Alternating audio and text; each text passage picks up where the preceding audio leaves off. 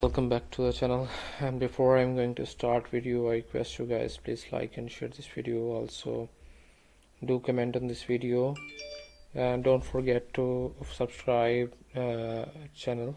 And today's uh, you are watching the Talia series uh, and um, uh, match today between Verona versus Udinese side. Uh, so the match uh, so first of all I'm going to show you the lineup of both sides so here's on the screen. The main lineup is Verona that's Simon Caprari uh, Bibrak and uh, Di Pauli Tameze uh, Leek and uh, Lazovic and Cucuroni uh, to Gets Kessler and the Montipo are the main forwarding side back uh, midler.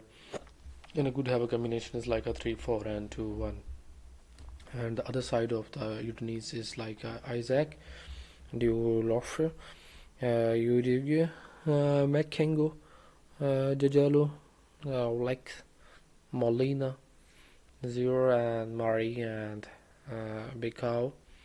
And Silvestri are the main side, Becker, Miller, and good combinations like uh, 3, 5, and 2.